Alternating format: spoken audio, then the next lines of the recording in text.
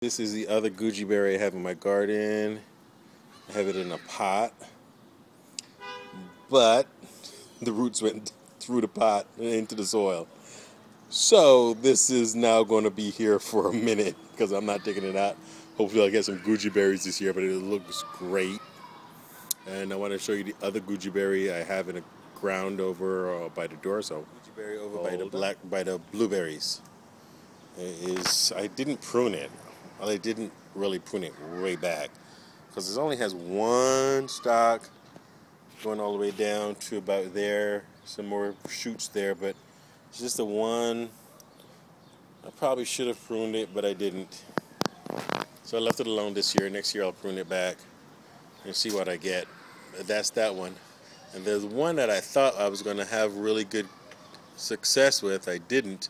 I'm going to show you that one next. Okay, this is the other goji berry. I mean, this grew so tall. It went all the way to the almost all the way to the top. Actually, you can still see the remnants of it right there. I probably should have pruned it. I know, but I didn't because I thought I was going to get some fruit last year. I didn't. So hopefully this year I'll get some fruit. I'll keep it pruned and keep it pretty much at this height about mm, two feet up off two feet, and we'll see what happens from there. Be nice. Yeah, I want to do a, a video about Goji berries. This right here is not April what 19th. This is three years old. I've, I've planted my Goji berries out, and I, you know, did my seed about three years ago. I put them in the ground and put them in pots and this was what was left over and I didn't even bother them I just left them here.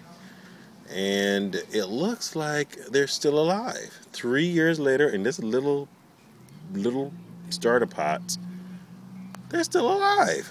I am so impressed.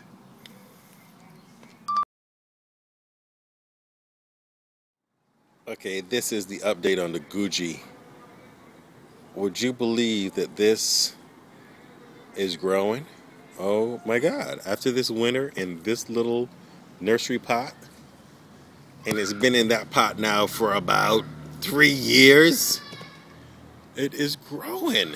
It is still alive. I thought sure this was going to die this winter, and last winter, and the winter before that. It's still alive. Oh my God. Unbelievable. Goji is a hardy plant.